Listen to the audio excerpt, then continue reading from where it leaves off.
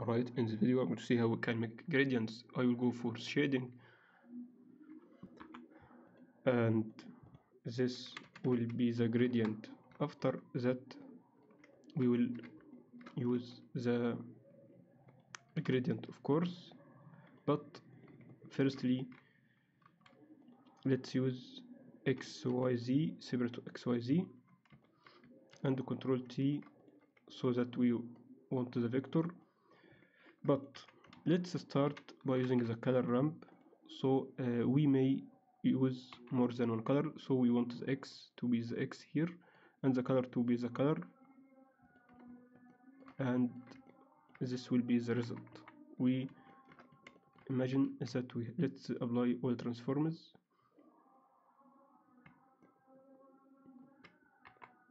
so it works on the local x. Let's see the y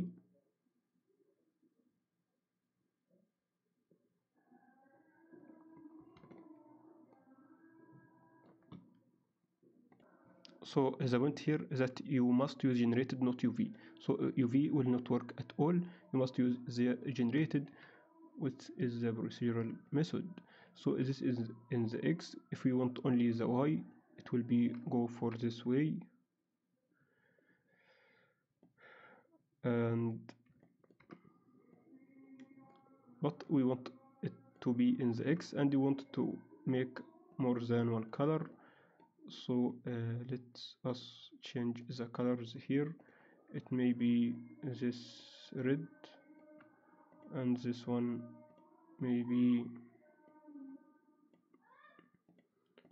and so we have more than one color. You can add or change these values. Constant will be hard. And the, and the trans and the transition between them will not be soft but b spline will be soft and is of course will be soft.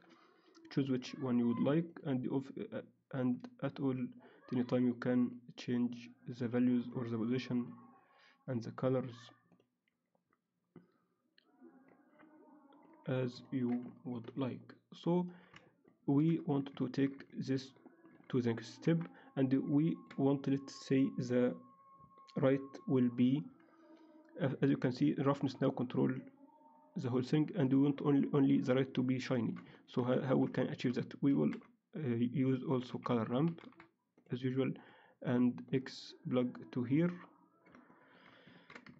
and the color to be the roughness will be connected to the roughness. So we will flip and it will be metallic.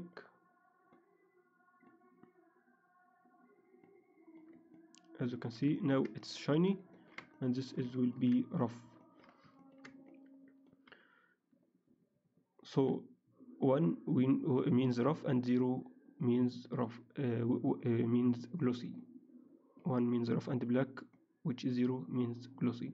You can change the transition and the value as you would like